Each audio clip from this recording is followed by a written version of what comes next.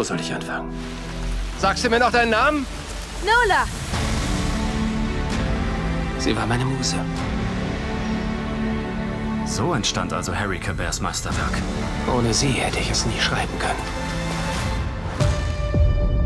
Der Schriftsteller Harry Caber wurde heute verhaftet, nachdem die Polizei die Leiche der 15-jährigen Nola Callaghan auf seinem Grundstück entdeckt hatte. Sie war im August 1975 verschwunden.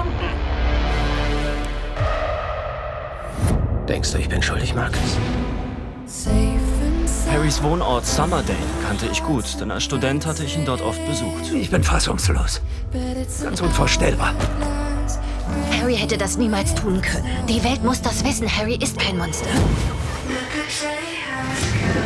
Das war eine ziemlich dunkle Zeit damals. Sag mir, dass ich dein Mädchen bin.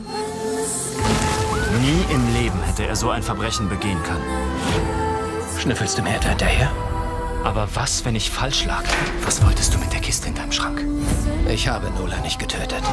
Warum haben Sie die Ermittlungen nicht ordnungsgemäß durchgeführt? Sie wagen es, an mir zu zweifeln? Ach du Scheiße. Vergib mir bitte.